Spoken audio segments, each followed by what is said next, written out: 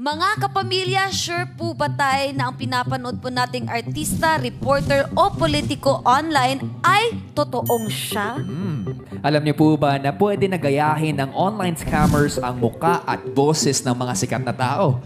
Ang tawag dito ay deepfake. Ginagamit po ito para mag-endorso ng mga peking produkto o para magkalat ng fake news. Kaya naman narito po ang ilang tips para hindi tayo mabiktima nito. Tingnan ang source o pinanggalingan ng video na iyong pinapanood. Tiyakin na ito ay mula sa lehitimong account. Pansining mabuti ang pagbuka ng bibig. Malamang deep fake ang video kapag tila pigil ang paggalaw o pagbuka ng bibig at hindi ito sabay sa boses. Tingnan din kung natural ang pagkurap ng mga mata at ang paggalaw ng ulo at leeg. Limitado ang galaw ng mga ito sa deep fake. Maging mapanuri po tayo sa mga nakikita natin online. Let's spot the scam to stop the scam. Paalala po mula sa ating ABS-CBN in the service of the Filipino.